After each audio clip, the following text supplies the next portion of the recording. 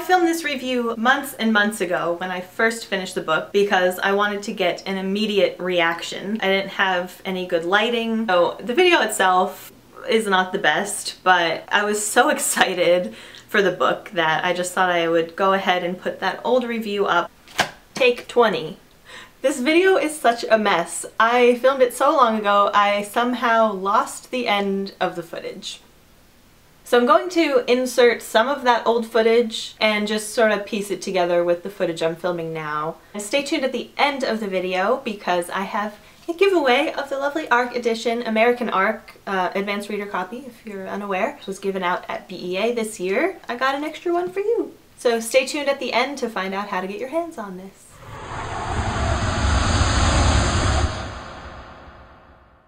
Hello! I just finished the best book I've read all year. First off, I have to thank Kaz over at Little Book Owl for recommending this book. I specifically sought it out at BEA because she loved it. I trust her opinions so much, mainly because we share a Bronze Horseman love. She's never steered me wrong. Thank you, Kaz. So, Illuminae by Amie Kaufman and Jay Kristoff. This book is unlike anything I have ever read before. It's all written in documents, emails, reports, surveillance camera summaries, IM chats, web pages. It opens up with an interview, but then it jumps into this website and diagrams, and I got a little scared. I thought it was going to be disjointed and really hard to follow, but it completely sucked me in. I'm just amazed by the effort put into this. So what the heck is this book about, you may be wondering? Illuminae is futuristic sci-fi about a mega corporation that decides to declare war on this little planet called Kerenza and three rescue ships fly in to save the unsuspecting civilians of this planet who are just suddenly being bombed and the rest of the action takes place in space. Yes! I know space is scary for some, but for me, outer space is the single most intriguing, astounding thing. I can't even wrap my mind around it. We'll never figure it out or learn all of its secrets. So cool! These broken stars lied to me. I looked at this beautiful cover. Look at this beautiful cover. And I was like, yes, space. And I heard this described as Titanic in space. I have a slight interest in the Titanic tragedy.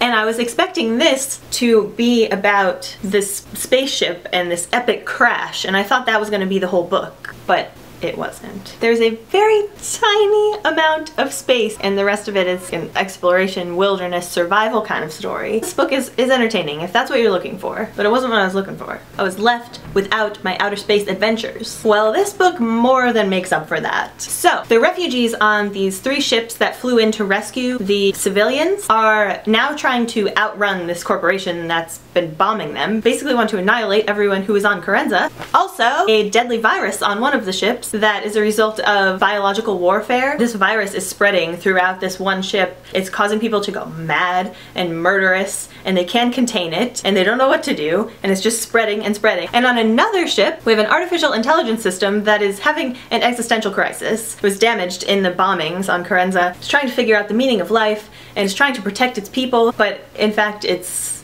it's working against them even though it thinks that it's helping. All I could think about at first was that it was like Smart House to the extreme. If you're old like me, you'll remember Pat very well also. Artificial intelligence is scary, man. My god. Anyway, this book is masterfully executed. A high energy, fast-paced sci-fi thriller that managed to develop this really touching romance in the midst of all of this terror and excitement. And the two characters involved in this touching romance were awesome. It was their witty, standout personalities that hooked me right in the beginning during this very first interview on the first couple of pages. When I was still feeling unsure about the format of the book, I could already tell that I loved them and they are who I kept reading for because I wanted more of them. As it says somewhere on the back, I'm not sure where exactly because look at this craziness. But somewhere in here it says that this book is about everyday heroes and it really is. Nobody here is a chosen one or born special for no apparent reason. These characters are brave. They're just brave fighters and wickedly smart hackers who stand up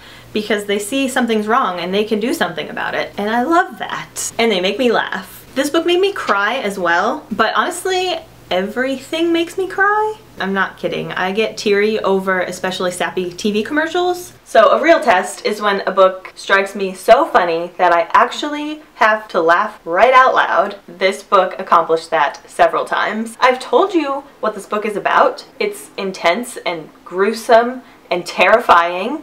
It's not funny, but the characters could always be counted on to bring some much needed levity to the situation. Such a perfect balance between terror and humor and intrigue. Just beautiful. I need this book to become a movie. It reads like a script because of the way that it's formatted and it's so, so visual. A lot of my, oh wait, this isn't my copy. This is your copy. This is the one with all my markers in it. Oh, I can't show that.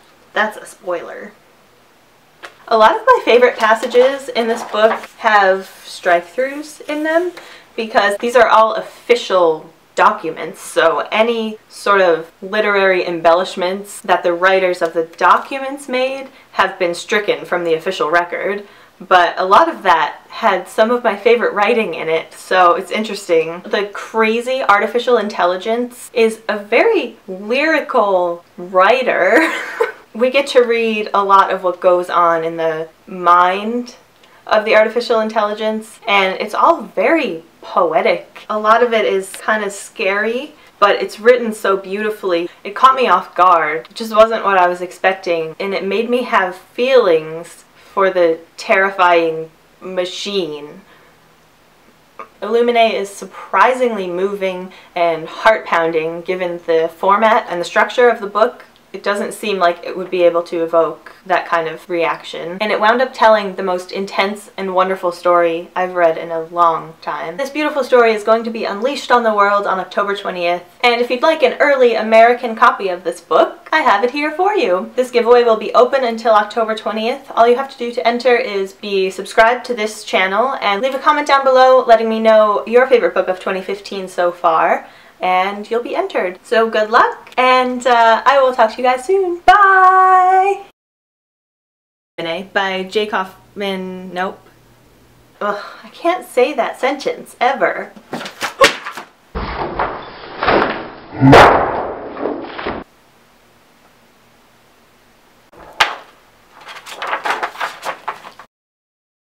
I'm not filming this again.